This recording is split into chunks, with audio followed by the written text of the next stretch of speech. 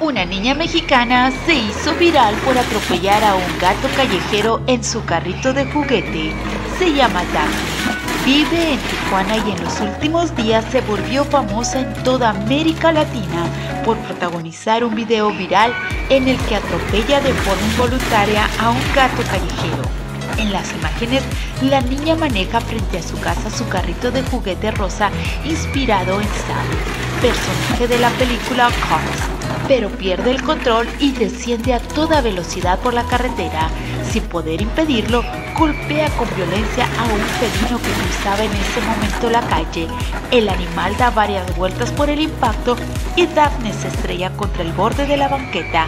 En lugar de asustarse, llorar o bajarse corriendo del carrito, la menor recupera el control de su pequeño auto y vuelve a emprender la marcha, sin preocuparse por el estado del gato.